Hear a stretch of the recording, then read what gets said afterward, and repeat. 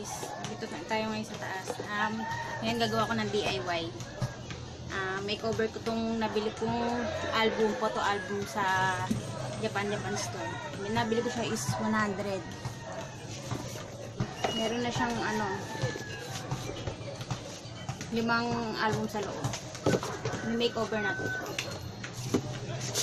Gagamitin ko ay, tapos lalagyan ko siya ng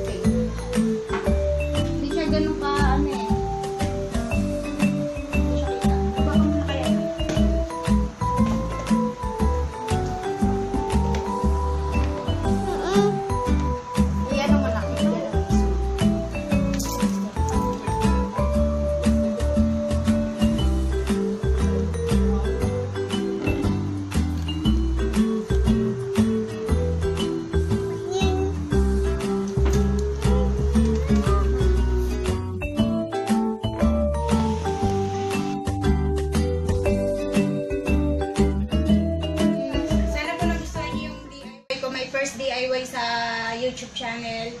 Please kung nagustuhan niyo po, ano, please like and share. Please subscribe din po sa ano namin channel para mas lalo po kayo, mas lalo niyo po ako makilala. Salamat po ng marami. Bye!